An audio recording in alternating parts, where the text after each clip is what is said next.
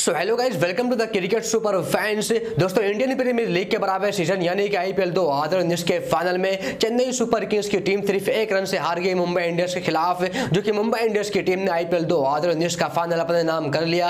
IPL दो हज़ार उन्नीस की ट्रॉफी जीत चुकी है मुंबई इंडियंस की टीम जिसके चलते मुंबई इंडियंस की टीम आईपीएल के इतिहास की सबसे सफल टीम बन चुकी है, जो कि चार बार आईपीएल का खिताब जीत चुकी है मुंबई इंडियंस की टीम तो वही चेन्नई सुपर किंग्स की टीम भी तीन बार आईपीएल का खिताब अपने नाम कर चुकी है, जिसके साथ ही चेन्नई सुपर किंग्स की टीम आईपीएल के इतिहास की दूसरी सबसे सफल टीम भी है।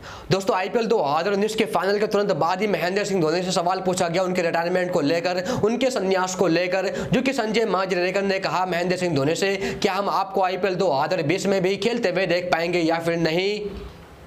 तो वही महेंद्र सिंह धोनी सवाल का जवाब देते हुए कहा, जी हाँ क्यों नहीं? उम्मीद तो है आईपीएल 2020 भी खेलने की। तो इससे साफ़ और साफ़ पता चल रहा है कि महेंद्र सिंह धोनी आईपीएल 2020 भी खेलने वाले हैं। जहाँ इससे पहले कई खबर वायरल थी कि महेंद्र सिंह धोनी आईपीएल 2019 खेलने के तुरंत बाद ही रिटायरमेंट ले लेंगे आईपीएल से। उसके बाद आईपीएल में नहीं खेलेंगे। लेकिन यहाँ पर महेंद्र सिंह धोनी के इस स्टेटमेंट से साफ़ और साफ़ पता चल रहा है कि महेंद्र सिंह धोनी आईपीएल 2020 भी खेलने वाले हैं। तो गाइस फ़िलहाल इस वीडियो में बस इतना ही। अगर आपको हमारी वीडियो अच्छी लगी तो लाइक करें शेयर करें कमेंट बॉक्स में अपने विचार अपने राय ज़रूर दें। वही क्रिकेट की हर एक न्यूज़ एंड अपडेट पाने के लिए चैनल को भी सब्सक्राइब करें, साथ ही बेल आइकन को प्रेस कर लें, क्योंकि इसमें आपको मिलने वाली है हर एक न्यूज़ सबसे पहले। अगर आप क्रिकेट की सारी लेटेस्ट अपडेट पाना चाहते हैं तो बस सब्सक्राइब करें cricket super fans YouTube channel को और प्रेस करें इस बेल के आइकन को। लेटेस्ट अपडेट पाए सबसे पहले।